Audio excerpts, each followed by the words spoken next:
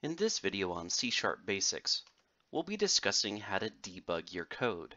Now there are three types of bugs that you'll have in your code. The first type of bug we'll talk about is the compile time error. Now the compile time error is an error in the way the code is written that violates the C-Sharp syntax. These are the easiest types of errors to locate, primarily because Visual Studio gives us the red squiggly line whenever there is a problem.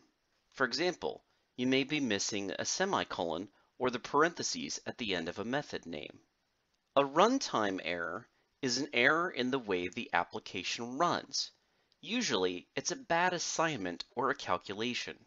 Runtime errors are only really found when an application is ran or if you can use unit testing.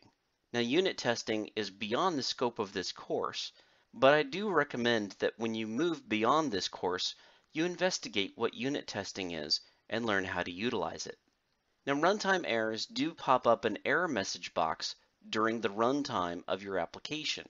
An example of a runtime error would be division by zero or the index out of range exception that we saw when working with arrays.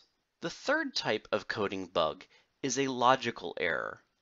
Now a logical error is code that is syntactically correct and does not break the application, but the results are unexpected. Logical errors are the most difficult to avoid and locate, but they can be avoided with proper unit testing. The biggest problem with logical errors is that there are no warning messages. There's just simply bad results. So how do we find and fix these errors? Well, first, if you have an error message, try to understand it and what its related message means.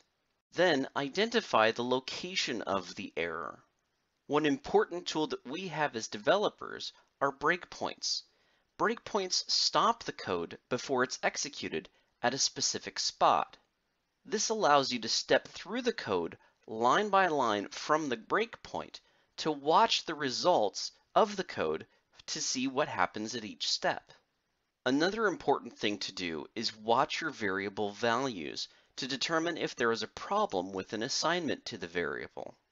Then you may need to determine if an earlier breakpoint is needed to find the actual source of the problem. Perhaps it's not where the error shows up, but an earlier point in your code that is the actual cause of the problem. One particular key to good debugging is to comment out the bad code and not delete it and then fix your errors. This will allow you to return your code back to a proper state if in fact that particular part of the code is not the problem. Then see if the code can be stepped through without an error once you've arranged all your fixes. And finally, give the application one more run all the way through from the beginning to verify that the error is in fact fixed.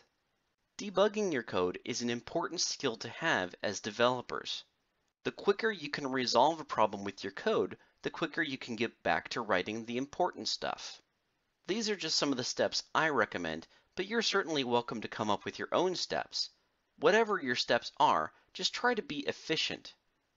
In the next video, we'll do a demonstration of the three different bugs and how to diagnose and resolve each one of them.